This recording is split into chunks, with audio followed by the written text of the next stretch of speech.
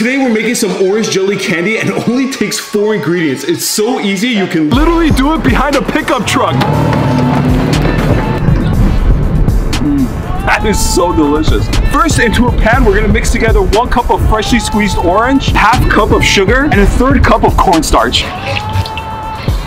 On medium low heat, continue stirring until it starts turning into jelly. Then add in about one tablespoon of butter and continue stirring. These people think I'm psychotic. Place jelly onto some saran wrap, shape it into a square, and cover it up. Then we're just gonna let this fully cool down.